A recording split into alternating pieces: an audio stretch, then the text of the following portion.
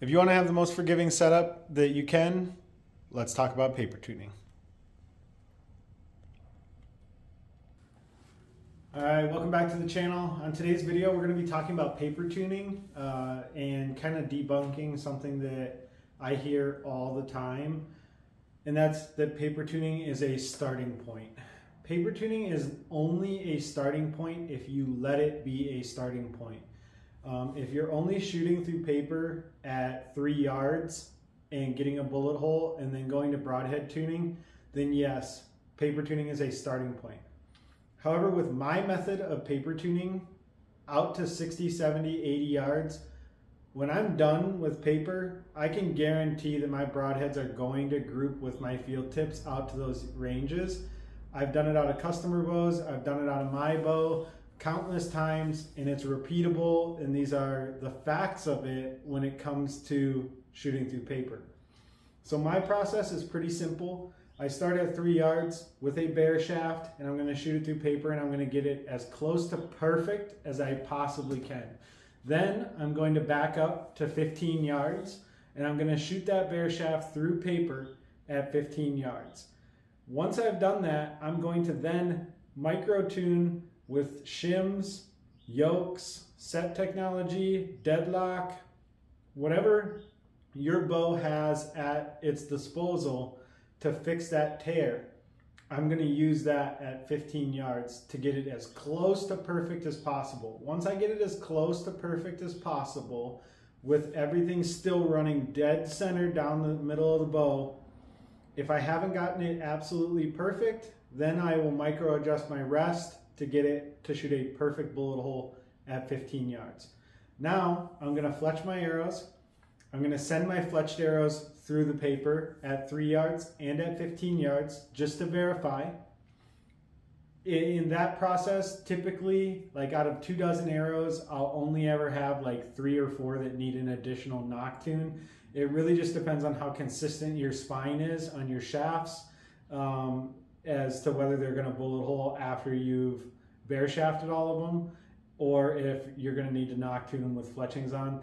These day six arrows, I only had to nock tune like three of them after I bare shafted all of them. Um, but on a Black Eagle Rampage, which I was shooting prior, it was not uncommon for me to shoot all of them through paper and the spine is very, very pronounced on those. And once I shot them all as a bullet hole with bare shafts, when I fletched them, they all went through the paper just fine. Um, but on a shaft that is very, very consistent and doesn't have a super pronounced spine like Ultras or um, Day 6 or some other arrows out there, X Impacts, now, even though you got a perfect bare shaft, you still might have to nock tune it. That's why I always verify with the fletchings at 3 and 15 yards. Then I'm going to go to the range and I'm going to shoot 60 yards with a broadhead and a field tip. And I promise you, they will hit together. They might not be right on top of each other, but they're going to be within inches of each other at those distances. And then you can just make a micro adjustment to your rest and everything will be running smooth, true, and forgiving. Now the problem with using paper as a starting point and then going out in broadhead tuning, now you're moving your rest to fix those tears that would have been present at 15 yards if you had shot through paper at 15 yards. But because you did it, now you're fixing that tear by taking your bow out of center, thus making the cam system less efficient. The bow is going to get louder. It's going to be less forgiving and it's just not going to be as accurate as it would be if you left everything right down the center as close to center as possible and paper tuned at 15 yards.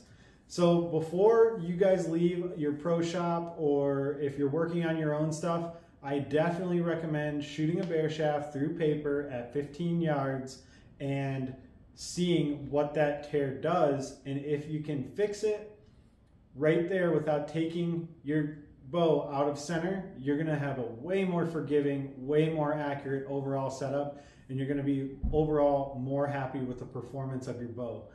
Uh, if you guys got any other questions, feel free to reach out to me either in the comment section on my Facebook page, Bergy Bowsmith, or um, you know, shoot me a message on Instagram or whatever social media platform. Uh, Bergy Bowsmith is the channel and the page on everything. If you guys like content like this and you want to see more content like this, feel free to subscribe. Let me know in the comment section down below if there's anything you guys want me to cover. Also, these hats will be available on my website uh, coming later on this week, so be on the lookout for that. And uh, with that, I'll see you guys on the next video. Thanks.